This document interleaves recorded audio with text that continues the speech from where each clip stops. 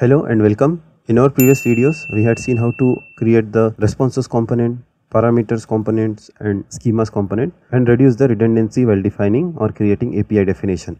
In this video, we are going to learn how to create multiple media types which could be accepted in the request or could be sent back in a response from an API. In order to do that, it's very simple. Let's go to this post. In the request, we will create one more media type that is application XML.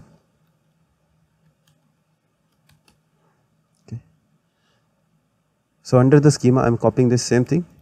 So this is one of the use case of components so we do not have to repeat the schema definition again and again okay so that we can have a schema once and we can refer it in a multiple places. So if you click on this now we will see the drop down for XML. If you select this so it will show the XML variant for the request. Also we can have this for the response as well. What we'll do is we'll copy this paste it over here we'll replace this XML with the JSON rest everything is same.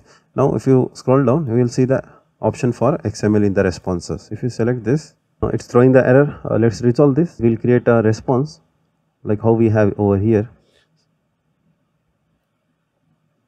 I am copying this from here. I am going to here and writing this as 200 success create this is returned after successfully creating products. So, I will copy this entire thing and paste it over here. Let me indent this. Let me create for XML as well.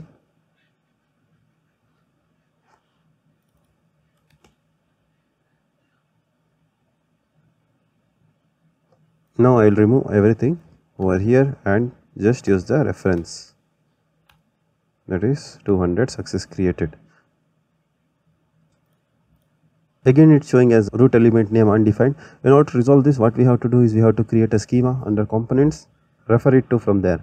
Uh, I will create a schema for that success success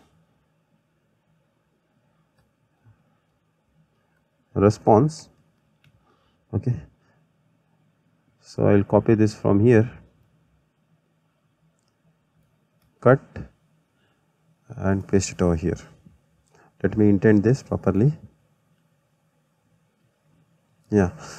Now what we'll do is we'll refer that from here.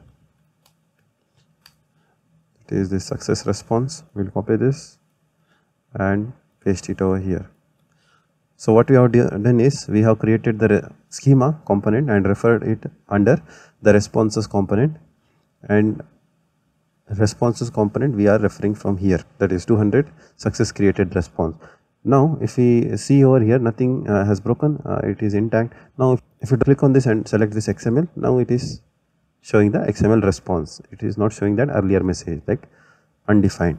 So like this we can make use of these components that is with the help of schemas, responses, parameters and create API definition without the redundancy. Following this approach, we can have a multiple media types application JSON, XML, even if you are looking for any other thing like the application multi-part form data or binary, anything else. So you can define it over here and create the definition as per the OAS. For more details, you can uh, anytime come over to GitHub repository and check this documentation as I'm using this 3.0.0 open API specification.